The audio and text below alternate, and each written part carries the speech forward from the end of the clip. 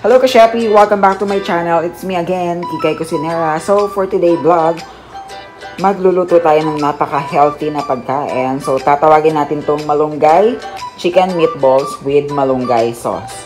So, ito ang ating mga gagamitin sa pagluluto mga ka-chefy. So, gagamit tayo ng 1 cup of malunggay extract. It's out of water and malunggay. Pinakuluan ko siya mga ka-chefy. Then, 4 tablespoon sugar, salt and pepper to taste, chili powder, onion and garlic, 2 tablespoon flour.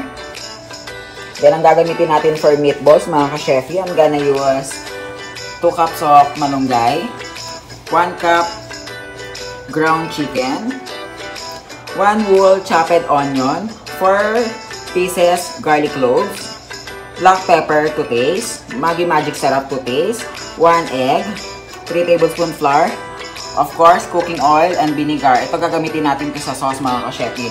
So, yan lang ating ingredients sa pagluluto ng chicken malunggay meatballs with malunggay sauce. Anyway mga ka-shefi, if you like this video vlog, please don't forget to like, share, comment, and subscribe. Let's start our procedure. Chefy, back. So, let's start our procedure. First, I'm gonna add 2 cups of malunggay. Okay. Then, 1 cup of ground chicken. 3 tablespoon flour.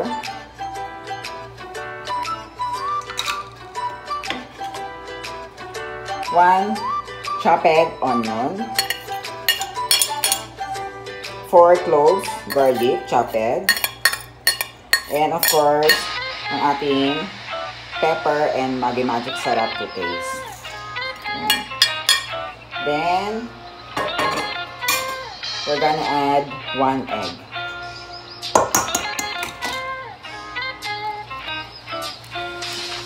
Okay. So, in-mix nyo lang siya ng bonggang-bongga mga ka-chefy. So, naghugas ako ng kamay. So, okay lang yan. So, mimix natin siya ng bonggang-bongga hanggang mag-combine lahat ng ingredients mga ka-chefy. So, kaya siya malunggay meatballs mga ka-chefy kasi ang main ingredients ito ay malunggay.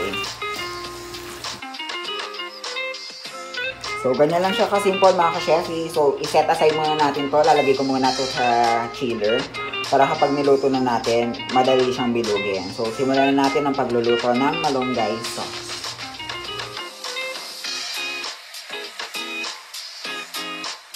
Okay mga ka-chefy, let's start cooking our malunggay sauce. So first, I'm gonna add oil.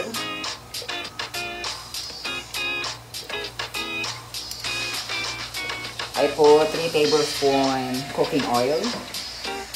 Then let's start sauteing garlic and onion.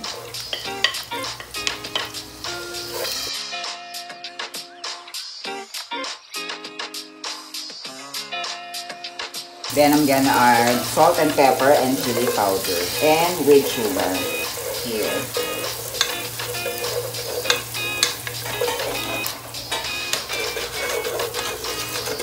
Low fire lang siya mga ka-chefy para hindi masunog.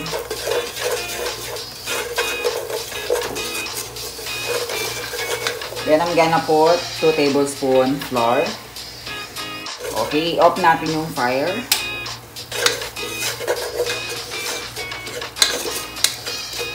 Then, I'm gonna add 1 cup of malunggay extra. So, haluin nyo lang siya ng haluin mga ka-chefy.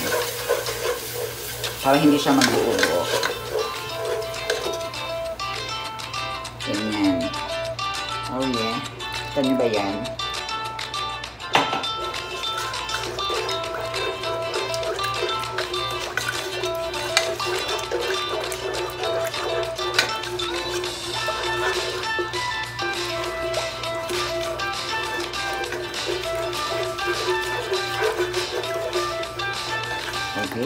Open the fire. Then let's add 2 tablespoons of vinegar.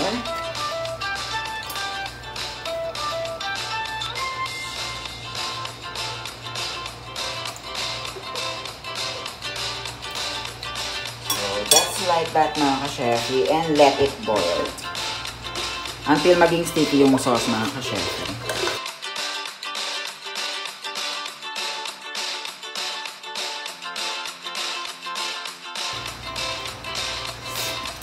Hmm.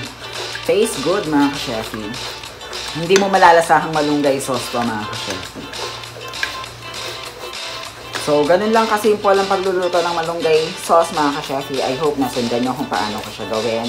So, simulan natin ang pagluluto ng malunggay chicken meatballs. Bye! Few inches later. Okay, additional tayo mga ka-chefy. So, para maiprito nyo siya ng maayos ang ating malunggay meatballs, i-coated nyo siya sa flour.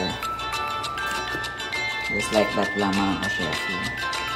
So, para hindi magkahiwa-hiwala yung mga ano natin, gulay.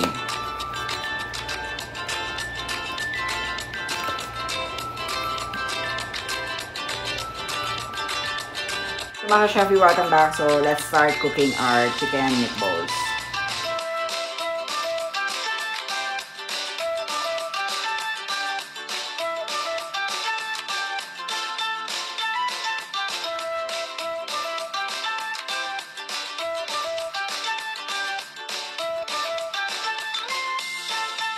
Okay mga ka-chefy, so ganyan lang ka-simple lutuin ang ating malunggay chicken meatballs. Lulutuin, lulutuin nyo lang sa both side until become golden brown.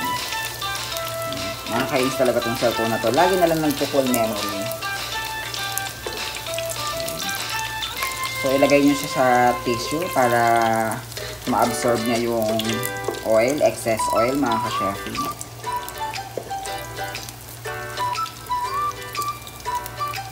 Ganyan lang po kasi po lang ating malunggay meatballs.